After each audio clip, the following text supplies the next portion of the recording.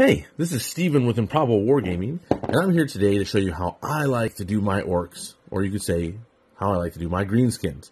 So today we're going to start with a little bit of contrast. We're going to do with Plague Bearer Flesh. So let's start with that, and let's go from there. Okay, well, Plague Bearer Flesh, we're just going to get this on here nice and liberal.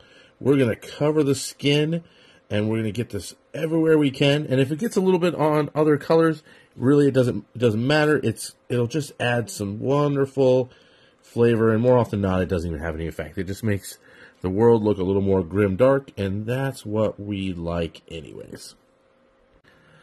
Okay, now that that is dried, let us get our Biel-Tan Green shade out, and we're going to put this on, and let's see what we can do here.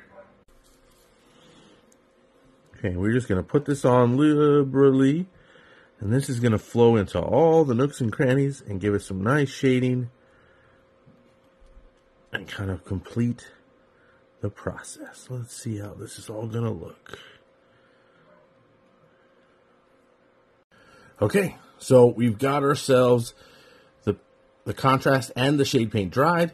And this is what the skin looks like at the moment. And then once you finish the model, it looks even better with a little bit of cleanup. But it's quick to me, it's easy, and I like the results. Thanks for joining us. This is Steven with Improbable Wargame, and we'll see you next time.